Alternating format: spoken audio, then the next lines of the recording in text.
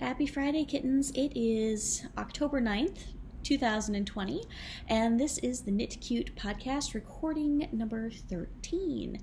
Welcome. Hi, and thank you for joining me today. I am Amanda. Um, you can find me as SewKnitPicky over on Instagram, and uh, I don't give my Ravelry information anymore, which is still throwing my intro off here because I'm still so used to giving it after years and years. Uh, you can find me over on my blog at knitcute.com, uh, on my YouTube channel, which is where you're probably watching this video, which is knitcute. And if you need to contact me, I now have a podcast email address, which is knit.cute.podcast at gmail.com. Uh, hi, how are you all doing? Uh, it's been a little while since I last recorded. Um, I have been doing these about once a month, and then uh, I had so many knitting mishaps that I had no content for two months worth of time. So I am finally back because I have things to share with you, and it is a lovely day here. I live just outside of Seoul in South Korea, where we are currently stationed, and it is about, oh, I'd say it's about 70 degrees outside today. It's uh, the sun's going down because I am a later riser, and uh, it's there's just a nice, beautiful breeze going through the house, and the air quality actually looks pretty decent out there. I can see the the hills that almost look mountainous in the background. So, like I asked, how are you all doing? Uh, things have been going well here.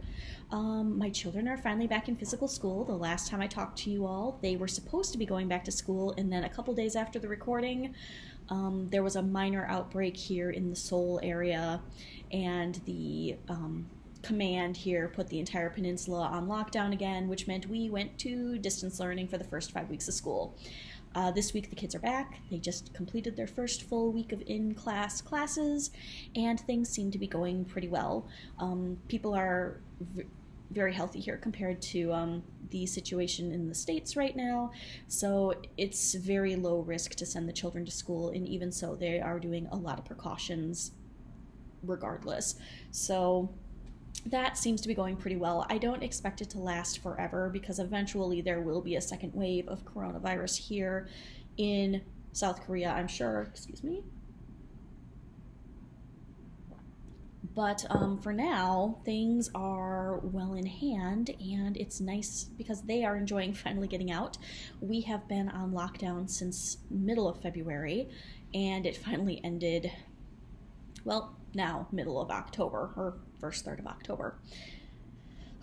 so I'm thinking, let me look at my notes here because it's been forever since I recorded, and I'm really out of practice. No, mostly just it's about, hey, it's COVID. So, Today I have to share with you all a current knitting work in progress, a finished spin, and I'm working on a simple cross stitch project. Um, I'm still reading a lot, by the way, that's what I'm spending a lot of my time doing, but I am also still completely in the thralls of Animal Crossing, um, New Horizons, the Switch game, and I have been really enjoying that. Um, especially because now it's fall and there's a bunch of Halloween stuff. The Halloween update went live not too long ago, and yes, I love my island and all my cute little animal villagers. Ooh, I am rambling. Okay, so first up, the project I I think I had just started to show you all or talk to you all about the last time I recorded is long since dead. Um, it turns out that I did not look at the schematic closely enough and I didn't think things through, which is not shocking as I am a pretty reckless, shoot from the hip kind of a knitter. And uh, I put a lot of time into that sweater, probably almost six weeks before I realized it wasn't going to be viable. Had to rip it all out. So I cast on a new sweater. This one is Enchanted by Expression Fiber Arts. Um, at the time I got this sweater pattern, it was free for I think signing up for a newsletter or something, but it's $5 on their website, I do believe. And Enchanted is a really simple rectangle that you fold over and it becomes a big, shruggy cardigan. So I started that sweater and I am knitting this one in Malabrigo Rios in the cowboy colorway. And I got oh, not too far into it, about 10 days into working on it, and I realized that I did not have enough yarn for it. And because of the nature of kettle dyed yarn. I was going to need to order more yarn to see where in my, not really truly a gradient, but where in my gradient color progression I was going to put the new skeins. So this went on hold until actually just about a week ago when my yarn finally came in. But so far, this is what I have of Um, Cowboy is, I don't know why this colorway is called Cowboy. It's actually a very galactic, spacey colorway. I'm I had originally called this my cowboy or my enchanted cowboy cardigan, but I'm thinking about calling it my strange love cardigan because the colors on here remind me of one of my favorite books I've read so far this year, which is Strange Love by Ann Aguirre. I think it's available only on Amazon. I can check on that, but it's a very well written sci fi romance. It's also available on Audible. I can recommend that. I've listened to it twice through already. And anyway, it reminds me of that. But Enchanted has thick ribbon. It's a simple lace pattern, which you're not going to be able to see too much. I know I'm moving so much. I need to stop moving. Again, I'm out of practice. A simple lace pattern, and on the sides, it's there's a a garter texture detail. So I'm finally moving on that, and this is this is a slightly darker skein of the Rios um, Cowboy is colorway 215, I believe. Yes, 215. And uh, at the rate I'm moving, this will definitely be done before the next time I record if it's a month. Um, I, I'm expecting to have it done in the next 10 days or so, to be honest even at the kind of slowish pace I'm taking it because it's it's knitting up really fast. Um, I'm doing only minor modifications on this pattern because it's a rectangle. It's pretty easy to modify to suit your needs because I am a wider and fatter individual. Um, I added one pattern repeat to it widthwise, and as we go lengthwise, we'll see how it looks as I'm working with it. Um, because the yarn, I believe the yarn is superwash treated, uh, it will grow a little bit, and I'll take that into account when I'm trying things on.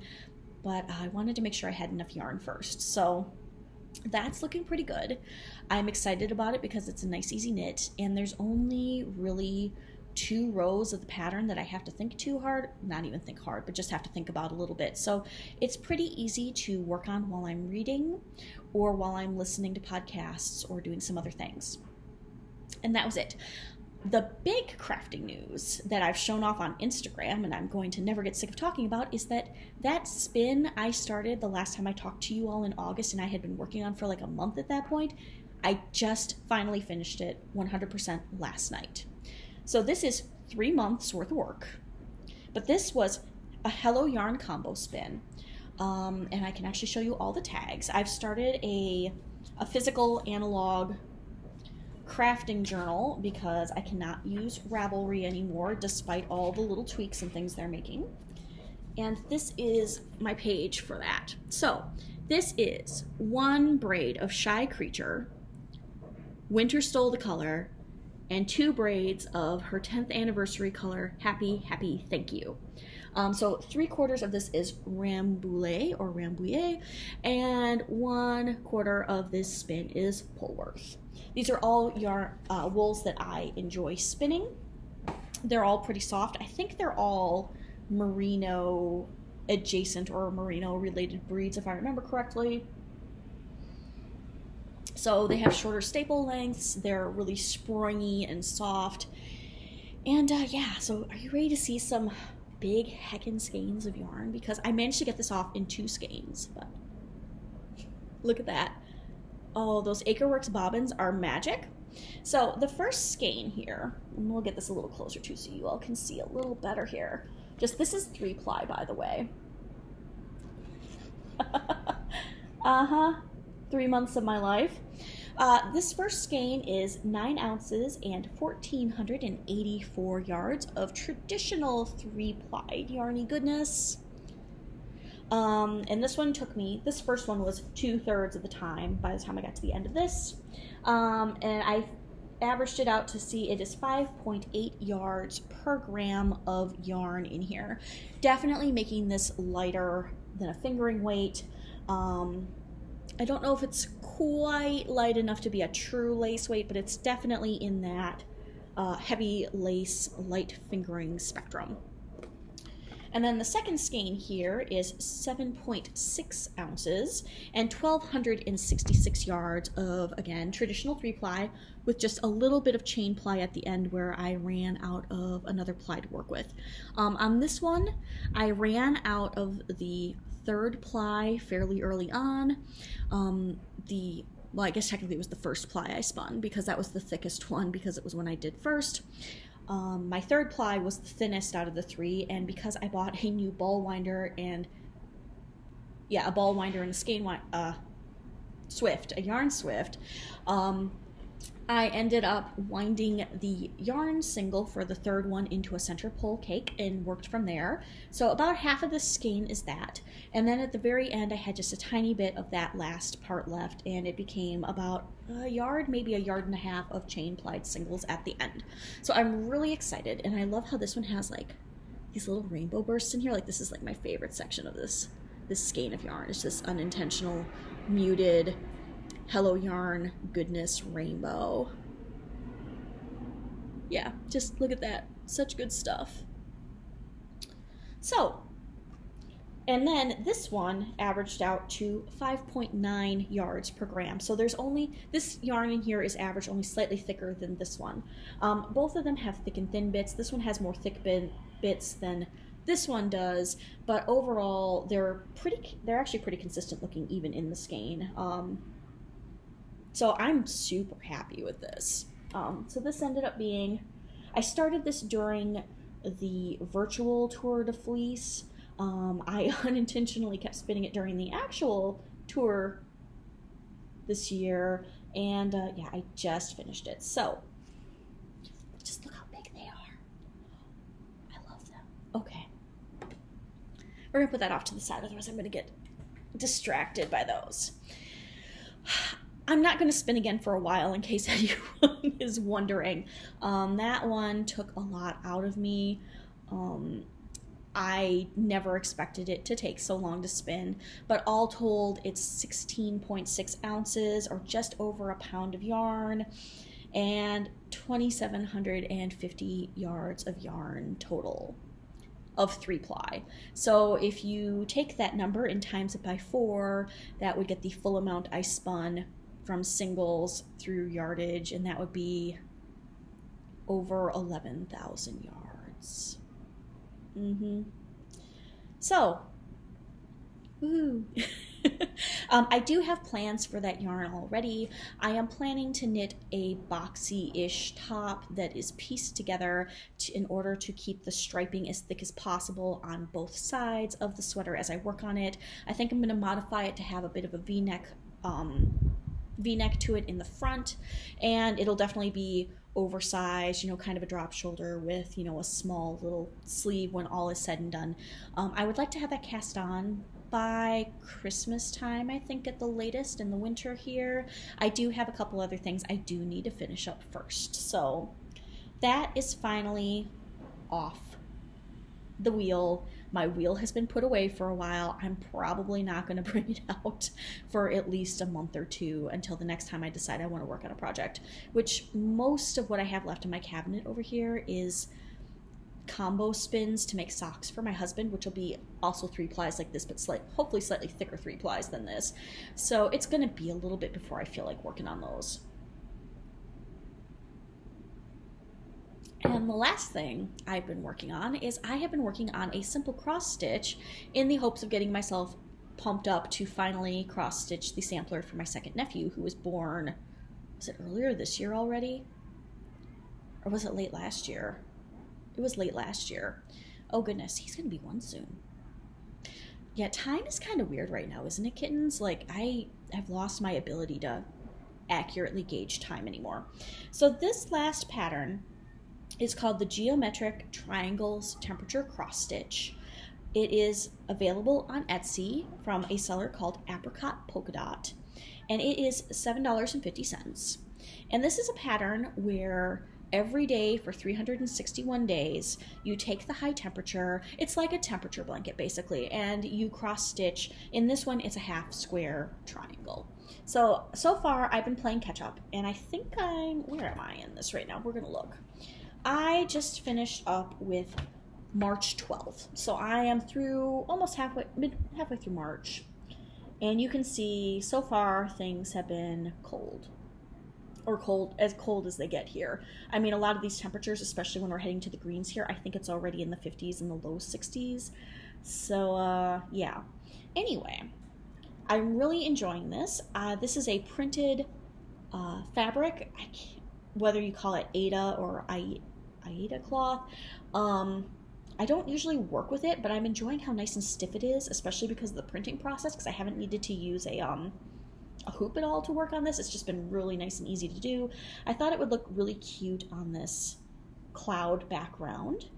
And uh, yeah, by about the time I catch up with this, I should be doing regular daily temps come late November or early December.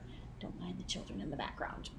So I've been working on that. I've been working on this in Cosmo embroidery floss. I've got my whole little thing right here of rainbow colors, and the coolest color are these fuchsias, and then going through to the blues, greens, and eventually the hottest color will be red. So it's going to be a rainbow progression all the way through there. And I think we're finally through the hottest days of the year, so for August. Um, I think that's when the hottest ones will be. It'll be good. Um, I'm using, I think, 13 colors on this. The pattern is written for 16 colors.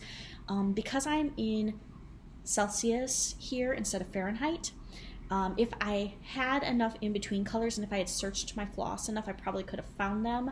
I would have liked to have added an additional six colors because then I could have, because I'm going in increments of three degrees Celsius, which is a pretty big temperature jump actually.